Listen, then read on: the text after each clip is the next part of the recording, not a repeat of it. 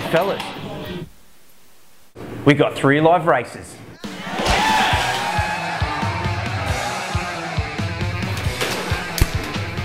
Drift Bikes is hosting three outdoor cinema nights this winter.